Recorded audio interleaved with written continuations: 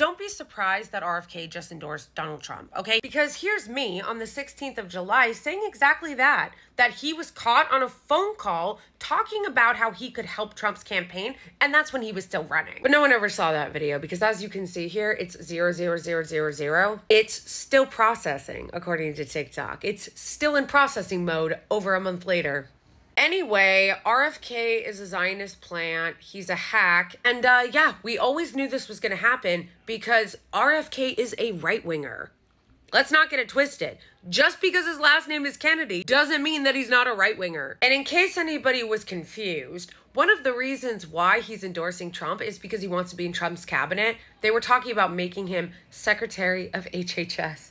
Oh my gosh. No, the anti vaxxer at the head of the HHS, make it stop. You gotta give the right wing this, though. They know how to consolidate power. They're not fucking around when it comes to power. They always come home. Doesn't matter how extreme they are, they will always fall in line at the end of the day.